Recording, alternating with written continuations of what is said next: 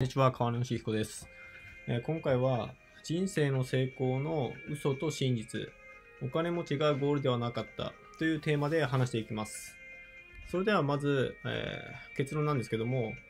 まあ僕はお金持ち成功だとずっと思ってたんですね。まあっていうのも本当に、えー僕の家庭は、えまあ中流家庭というか、まあ公務員がな公務員の親なんで、えーていうか普通の家というか、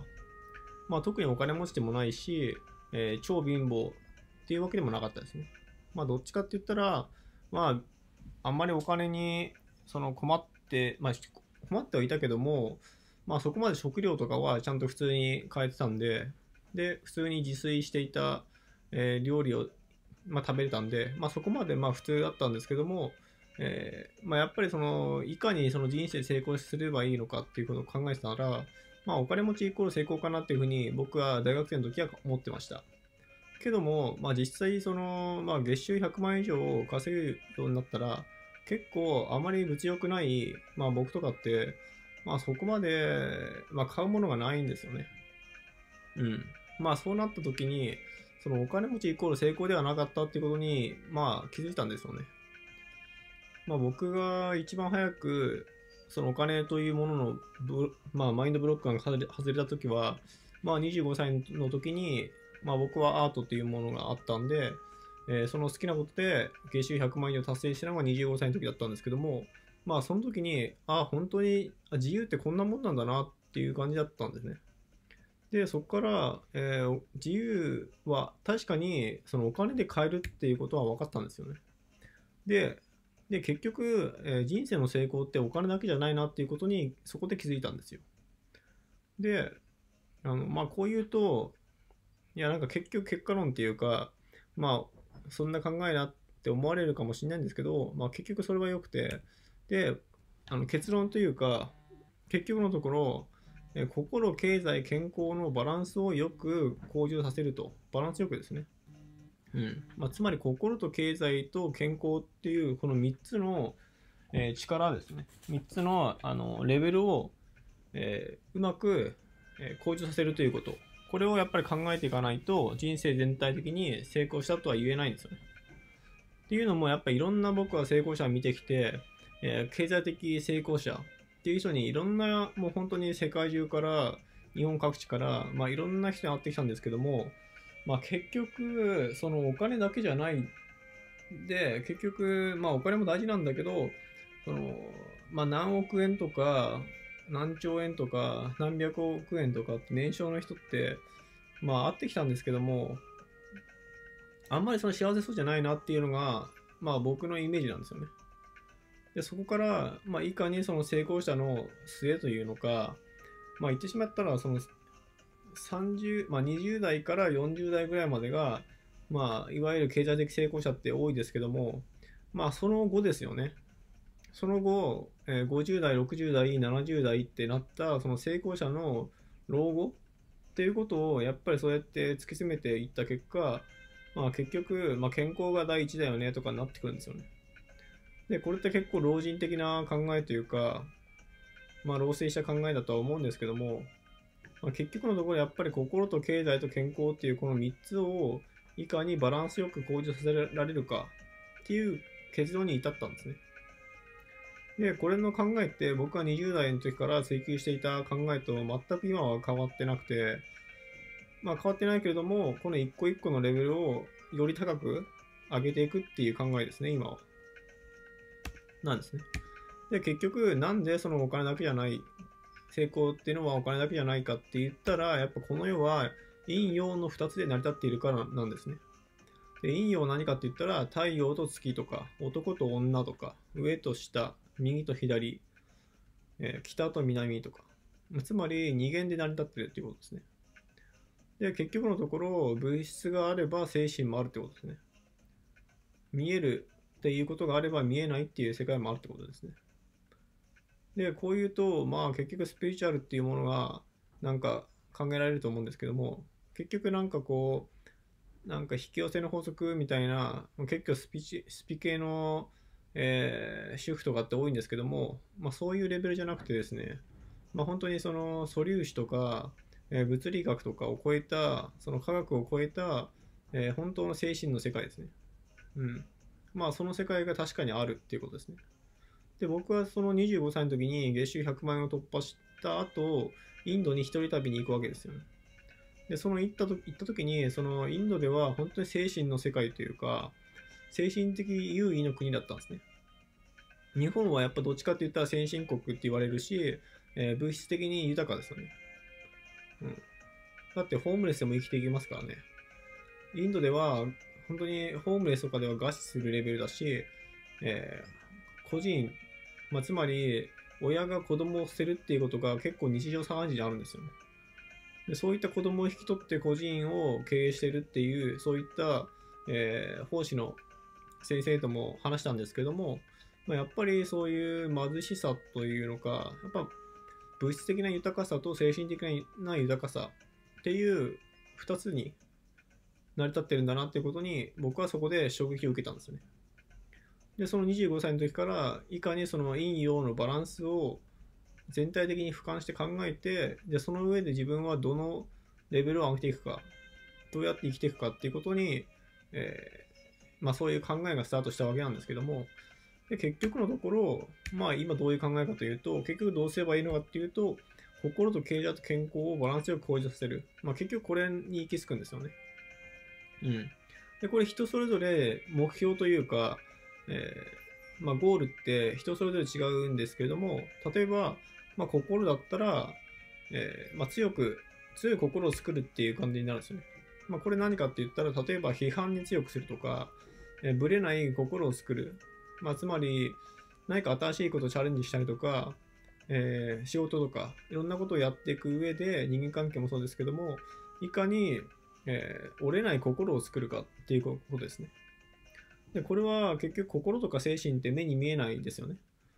これはまあ言ってしまえば陰の道なんですけども、その陰の道を、え進むっていうことになるんですね。で、こういった強い心を作ることによって、多少批判批判されたり、否定されたり、えーまあ、つまり出る杭は打たれるっていう文化が日本にはまだまだあるんで、やっぱ何か目立とうと、目立ったりすると、やっぱ基本叩かれたりするんですよね。うん。で、僕もかなり叩かれてきました。うん。まあ言ってしまえば親とか、まあえー会社の上司とか、まあかなりいろいろ、えー会社辞める時もそうだし、えー本を出版する時もそうだし、テレビに出る時もそうだし、まあいろんな、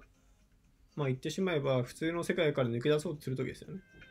その時ってやっぱりボコボコに叩かれるわけですよ。で、そうやって、まあメンタルは鍛えられていくんですけども、ほとんどの人がそのボコボコに叩かれた瞬間もう萎えるんですよね。ああ、もう無理だとか、諦めようとか、まあ所詮自分は一般人なのかなとか、で、そうやって思ってしまうんですよ。まあいわゆるネガティブになってしまう。そうじゃなくて、結局、なんで批判してくるかって言ったら、やっぱ結局羨ましいわけですよね。まあ、自分はそうなりたいけども、なれなかったとか、自分の安心領域、コンフォートゾーンから出た出てほしくない。だから引き止めるんですよね、そうやって批判して。だそういうことを事前に分かっておけば、あの、真に受ける必要ないんですよ、そういうネガティブな批判とか、まあクレームじゃないけど、まあ結局その、引き戻そう、引き戻そうとする力っていうものって正直いらないんですよね。だから、その自分の信念を貫いて、ガンガン、あの、目標達成まで走ればいいんですよね。まあそういった強い心を作ることがやっぱり心の充実度、心のレベルを上げるためには、その目に見えない精神を鍛えるっていうことが必要なんですよね。うん。で僕は、まあ、10代の時から剣道をやっていたんで、その中学の部活から剣道をやっていて、その、まあ最近も30代になってから、えー再開して、商談審査も受けるようになったんですけども、まあやっぱりその剣道を通して僕は精神を鍛えられたかなってすごく思ってますね。はい。で、まあ次に経済の部分ですけども、えー自分でビジネスをやって経済力を上げるということですね。これで経済力がやっぱり上がります。やっぱり会社員とかフリーターとか、えーまあ、つまり誰かに雇われてお金を稼ぐ、うん、まあ労働型の仕事ですよね。労働収入。労働収入と、自分のビジネスをやるっていうのは全く違うってことなんですね。まあ言ってしまえば、労働収入っていうのは保管が代わりが効くんですよね。A さんが仕事休んだら次 B さんに頼めばいいってことなんですよ。まあ、つまり、えつまり、その、A さんだけにしかできない仕事ではないんですよね。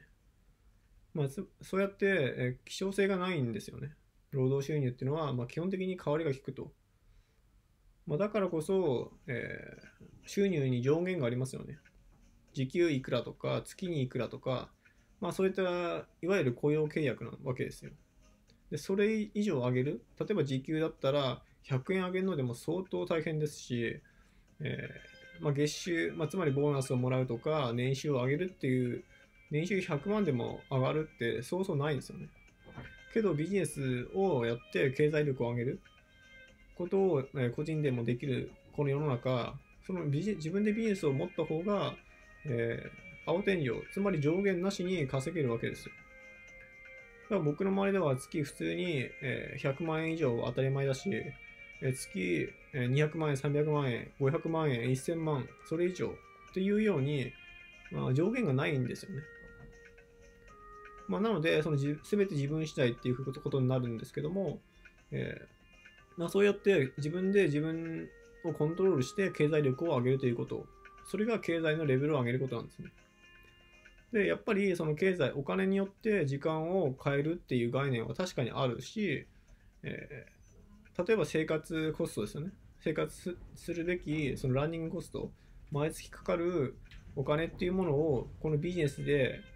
作ることができたら、他はあの自由時間になるんですよね。自由な時間とお金が同時に手に入るわけですよ。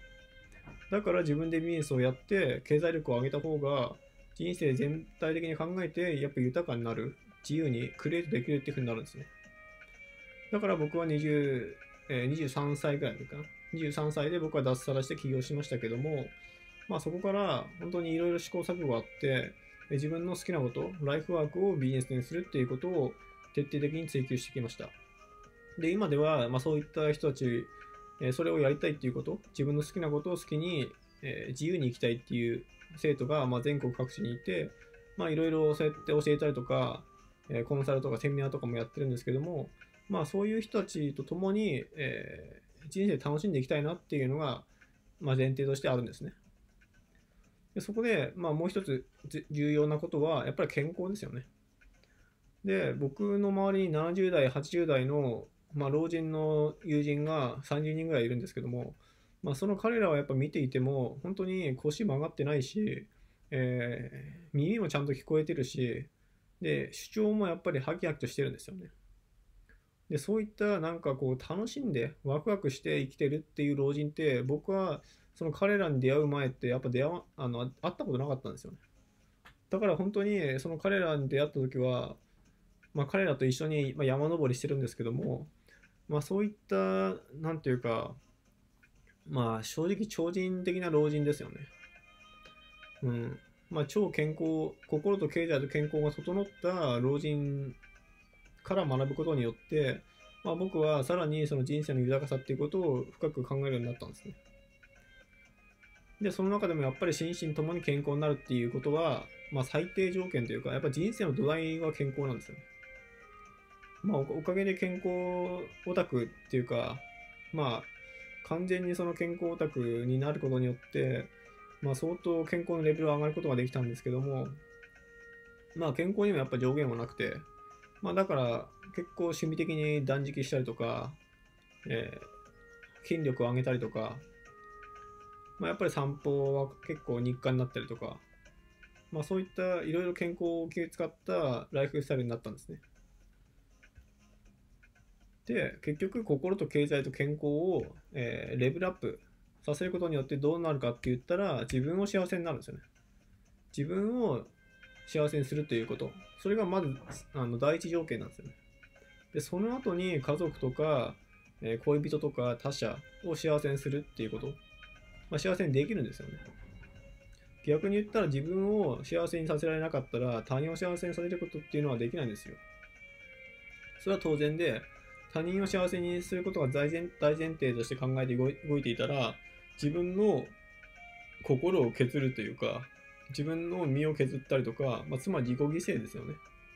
自己犠牲して他者を幸せにするっていう風になってしまうんですよ。だから自分がまず自由になるべきなんですよ。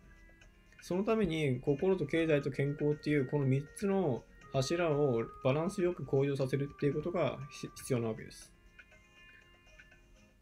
じゃあそのためにどうすればいいかって言ったら、やっぱライフワークを学ぶことなんですよね。ライフワークを追求すること。まあ、僕実際ブログとかメルマガとか、あと電子書籍、まあ、いろんな本も出してるんで、まあ、そちらでライフワークを学んでほしいんですけれども、まあ、そうじゃなくても自分の近くにいる、えー、誰か成功者っていうか、えー、リスペクトできるそういった理想の自分理想の人生を歩んでる人ですねまあそういった人が近くにいたら、まあ、ぜひ学んでいただきたいと思ってますそうやって成功者から学ぶことによってやっぱ少しずつ人生は良くなっていくし、えまあ、できればこの心、経済、健康のバランスがいい成功者ですね。うん、っていうのもやっぱり心があの貧しい成功者って結構多いんですよね。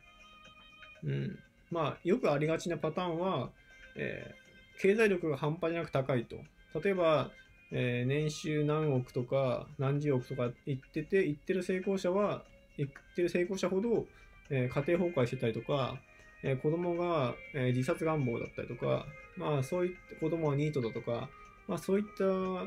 えー、闇ですよね。ダークサイド。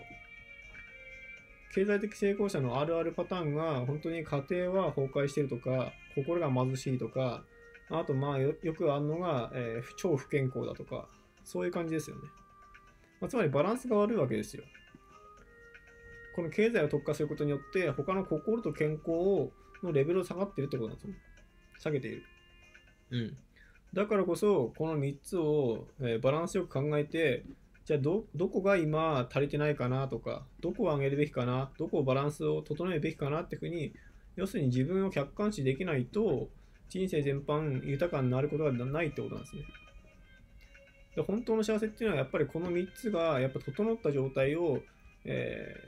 ー、長くキープできることですよね。キープした上で、え自分がどういう人生を作っていきたいかっていうことをえー、冷静に